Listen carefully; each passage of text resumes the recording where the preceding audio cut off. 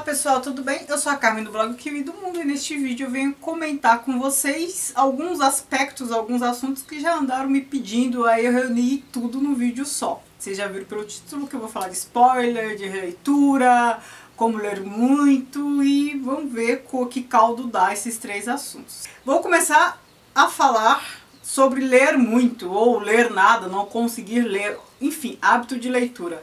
Tem gente que acha que eu leio muito, né? Eu não leio muito. É, eu já li mais, quem me acompanha há algum tempo sabe que eu lia quase o dobro do que eu ando lendo ultimamente. Mas sei que é mais, muito mais do que a maioria dos brasileiros costuma ler. Né? Eu leio, acho que ultimamente minha média está sendo uns sete por mês, né? Dá mais de um por semana, considerando o tempo que eu tenho, é, é, até que é muito. Mas assim, é menos do que a média mensal da maioria dos booktubers, né? Porque tem muita gente que estuda, né, meio período e tem mais tempo. Não, eu trabalho, eu trabalho muito, trabalho 8 horas por dia, às vezes 9 horas por dia no emprego só, às vezes dou aula o sábado inteiro, às vezes dou aula à noite. Sem falar que às vezes também eu tenho tese para revisar, como neste momento eu tenho uma tese para revisar. Então, assim, tudo isso é, acaba tomando muito tempo, ó, sem falar nos vídeos que edito, que gravo. Vocês veem que não tem lá essa qualidade, mas eu nem tenho tempo de aprender a fazer nada melhor. E casa, família, enfim, né, a vida.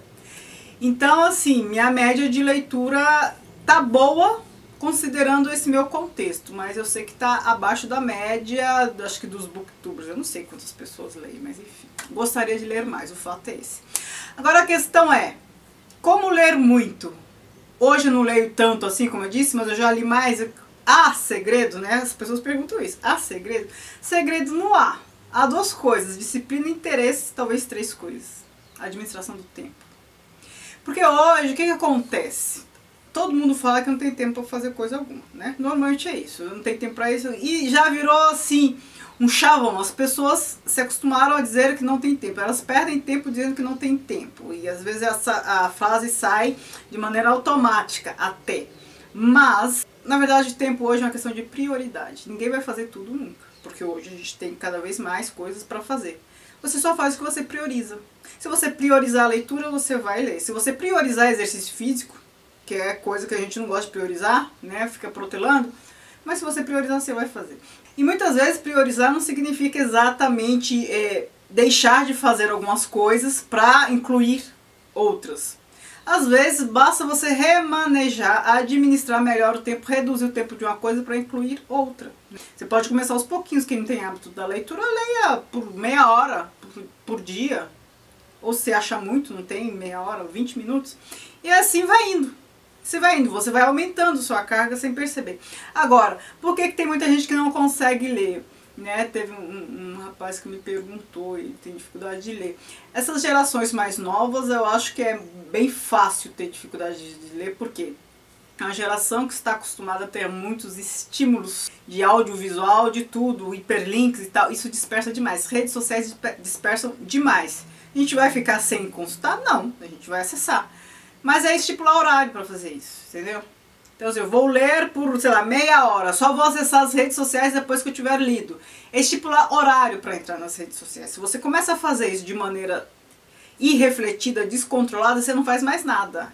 Isso é muito verdade, porque tem dia que eu começo a ver aí eu não faço o que eu deveria fazer. É, é, é um exercício mesmo, diário. Porque se você deixar levar, não quiser se preocupar com isso, levar, fazer o que tem vontade, você fica nas redes sociais, curtindo, postando, não sei o que, vendo, vendo vídeo e não faz o resto. É muito fácil se dispersar. Então assim, administre seu tempo com disciplina, estipulando períodos, momentos para fazer isso. Então, só vou ver, acessar redes sociais à noite, ou só de manhã, ou na hora do almoço, ou duas vezes por dia, mas assim, períodos já estipulados, enfim. É você que vai decidir qual é o melhor momento para fazer essas coisas. A mesma coisa leitura e tudo mais, certo? Então, assim, não há segredo. Na verdade, é disciplina e gestão do tempo, gente. Aliás, para tudo, né? Não só para ler, mas para tudo. E isso que eu falei é bem verdade. Hoje em dia, você não dissocia a ideia de tempo de prioridade. Você não vai fazer tudo nunca. Você vai fazer o que você priorizar fazer. Isso você vai fazer, tá? É isso. Agora, sobre spoilers. Quem tá acostumado a ver meus vídeos sabe que eu às vezes falo, ah, não há que se falar em spoiler nesse caso. Isso não é a obra que o spoiler é que vai atrapalhar alguma coisa e tal. E também tem obras que eu já nem faço vídeo, que é para não dar spoiler, para não correr o risco de falar o que não devo. Então é o que aconteceu no caso de Guerra e Paz, no caso de Os Miseráveis.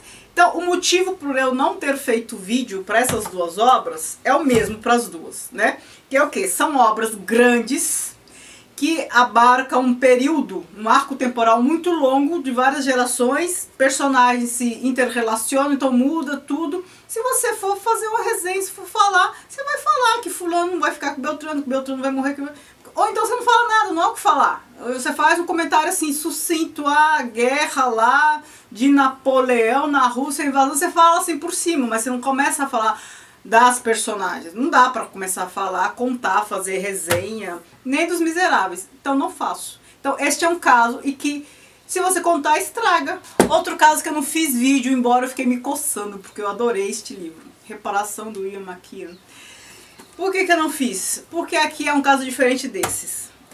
Aqui tem um lance de enredo, de, de narrativa, que é muito peculiar. Se você revelar um detalhezinho, você acaba com a graça da obra. Porque o desfecho desse livro, ele tem um desfecho narrativo.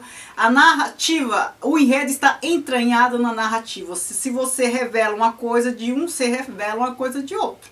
Enredo e narrativa assim, se imbricam. Como é que vai falar? Não falo, eu não falo. Porque se tivessem me contado, eu ia ficar muito bravo. O que, que eu sabia dessa obra? O que eu sabia é o que eu falo pra vocês. Eu já falei em outros vídeos, né? É, aconteceu um lance lá, a menina é metida a escritora lá, aconteceu um lance da irmã mais velha dela e tal, ela presenciou a cena e teve uma série de equívocos depois de causou um transtorno para a vida das pessoas. É assim, coisa bem por cima mesmo. Porque se você começar né, a contar que acabou, perde a graça. Eu ficaria brava se me contassem. Né? Ainda bem que ninguém contou. Então, esse é um caso também. Agora, obras que. Spoiler, tanto faz como tanto fez, é, é bobagem.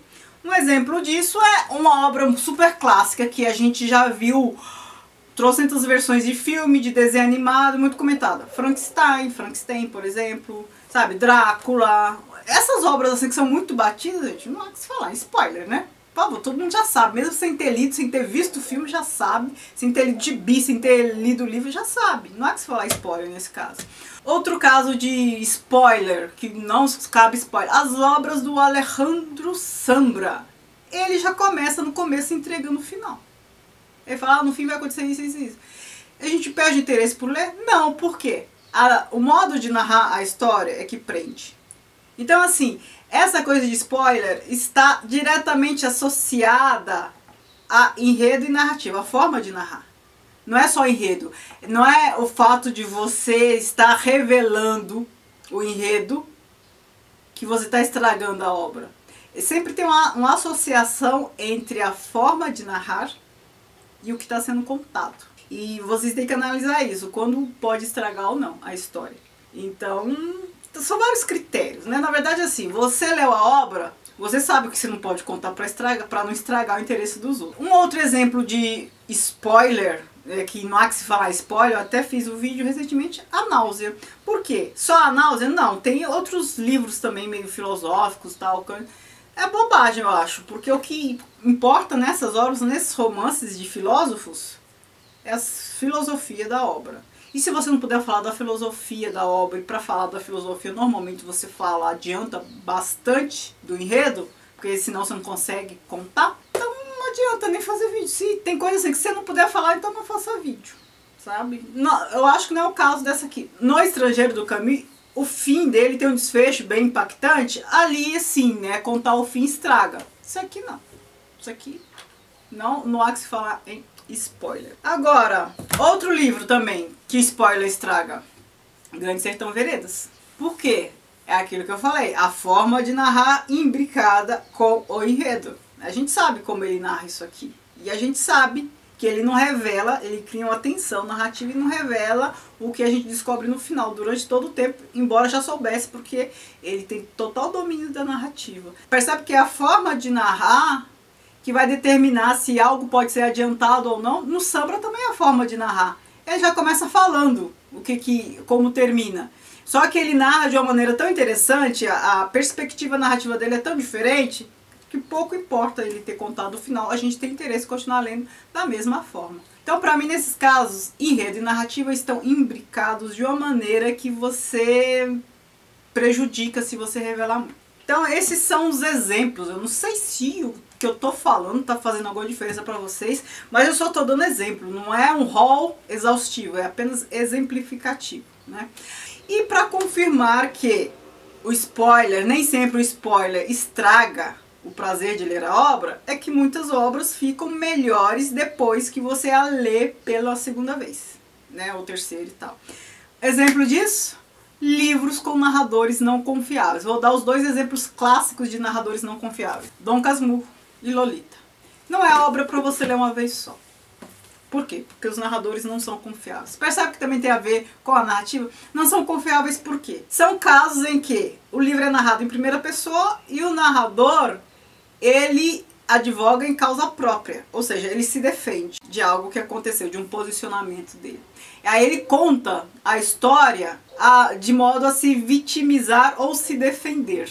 São narradores que não são confiáveis. Nesses livros aqui, Lolita e Dom Casmurro, livros de narradores não confiáveis de modo geral, você tem que prestar atenção nos detalhes. E os livros bem feitos de narradores não confiáveis são aqueles que você lê, quanto mais você lê, mais dúvida você tem. Às vezes você lê, você tem um posicionamento, no caso do Bentinho, ela traiu. Às vezes você lê de novo, você acha que ela é inocente. Os, esses livros bem feitos, né, o caso dos dois, apresentam elementos que fazem você sempre ter dúvidas o cara tá contando uma história, só que ele tá advogando em causa própria, no que confiar, né? Há vários elementos nessas duas obras, é, é, elementos de análise, né, que, que são bem interessantes. Lolita é um dos que eu vou reler, não sei se eu vou conseguir reler neste ano, né? Muita gente pediu quando eu fiz o vídeo das releituras, mas não foi o que ganhou. Mas talvez eu ainda releia neste ano para fazer vídeo, porque eu li uma vez só e faz muito tempo. Outro livro que só fica melhor na segunda leitura, esse aqui.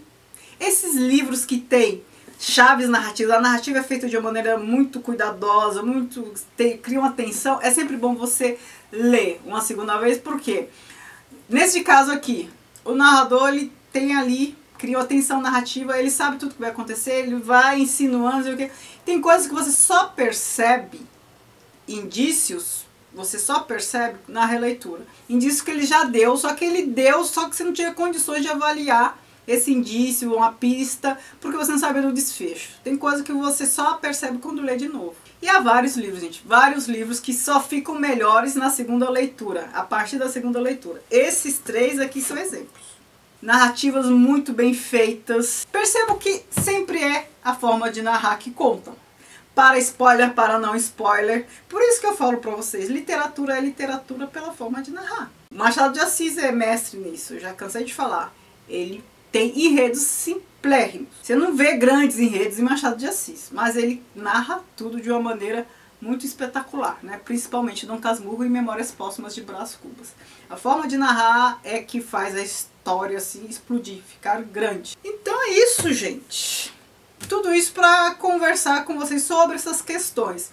E eu ando fazendo uns vídeos que, que eu dou spoiler e vou avisar que, que dou spoiler, você pode pular o spoiler, parar de assistir. Então, assim, quando eu sei que o spoiler pode estragar, por exemplo, foi o caso de Vermelho Negro.